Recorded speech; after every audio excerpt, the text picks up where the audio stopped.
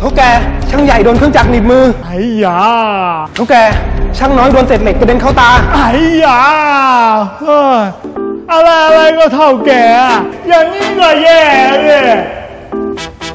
นี่คือผลเสียจากการไม่ขึ้นทะเบียนนายจ้างนะครับทำให้ลูกจ้างไม่ได้รับสิทธิ์การคุ้มครองจากกองทุนเงินทดแทน และนายจ้างต้องรับภาระจ่ายค่ารักษาพยาบาลเองลูกเนี่ยไปขึ้นทะเบียนกับกองทุนเงินทดแทนนานแล้ว